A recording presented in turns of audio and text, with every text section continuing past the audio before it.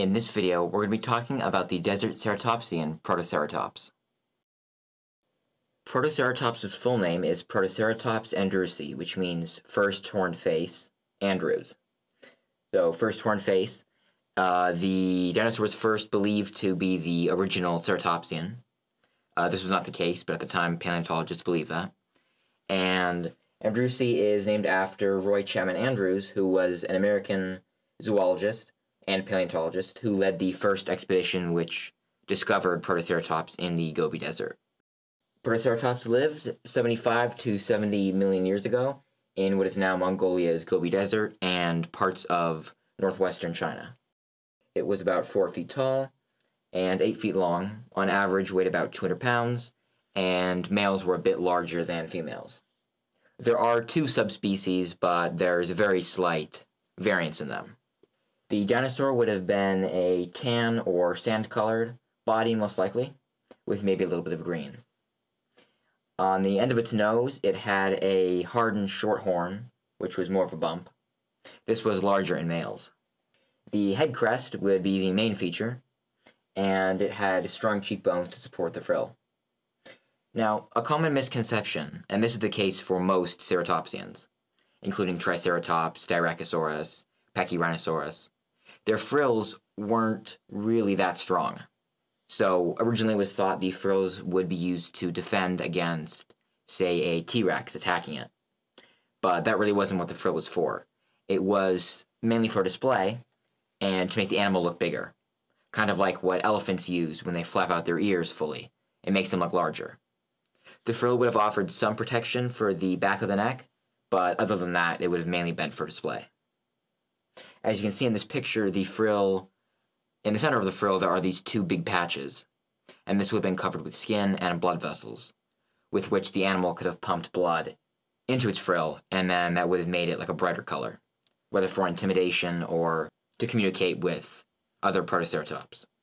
There is a huge amount of variation in the frills between specimens, and once again, it looks like males would have had larger ones, although this isn't confirmed.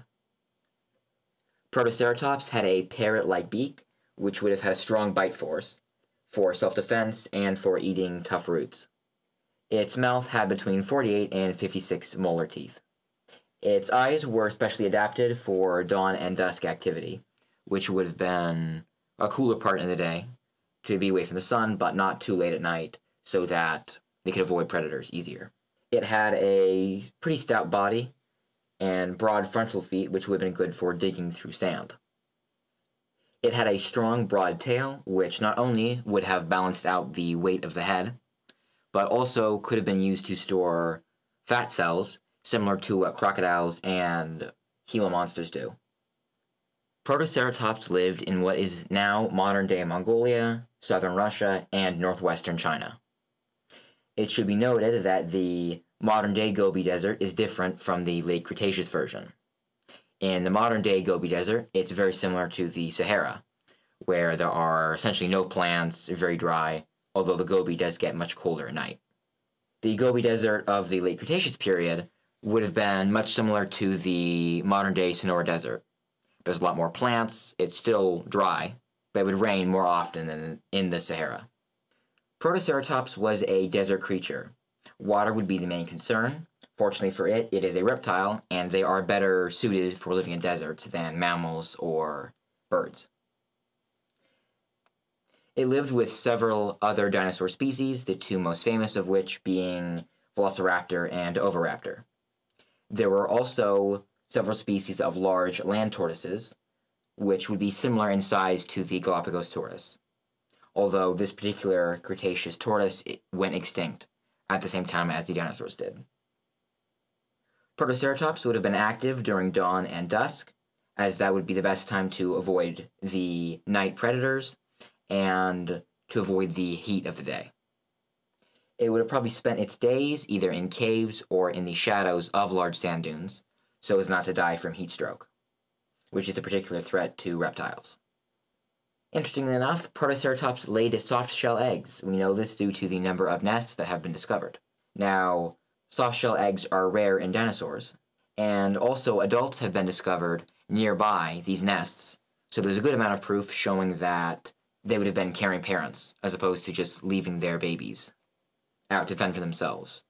Velociraptor appears to have been the main predator for Protoceratops, while the eggs would have been at risk from Oviraptor. Now, an interesting theory, which there's a little bit of evidence for it, but with more individuals being discovered, we would know better. This theory says that the subadults would have had essentially no frill. This would have allowed them to run on two legs, which would have made them faster and would have been easier for them to evade predators. Then later on in life, once it becomes an adult, then it would grow the frill and then go onto all fours. As with most of the characteristics with Protoceratops, the males tended to have bigger frills, which would have helped for display and for competing for dominance in their herd. Protoceratops was first discovered in 1922 at Flaming Cliffs, which is now a famous fossil site. This expedition was led by the American zoologist and paleontologist Roy Chapman Andrews. In the same expedition, the first Velociraptor and Oviraptor skeletons were discovered. Now, as the name suggests, Protoceratops was first believed to have been the first ceratopsian. We now know that Protoceratops is its own separate subgroup of the ceratopsian family.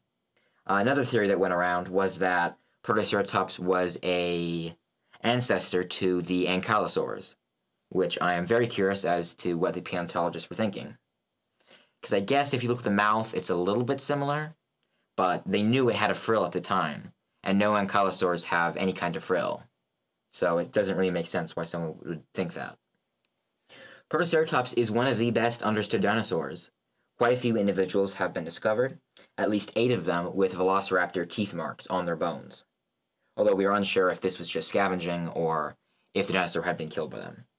Multiple group nests have been discovered, with several dozen eggs. Now, my personal favorite fossil, and probably one of the most famous fossils of all time, is the fighting dinosaurs. So one of them is a Protoceratops, the other is a Velociraptor. And these two died fighting each other.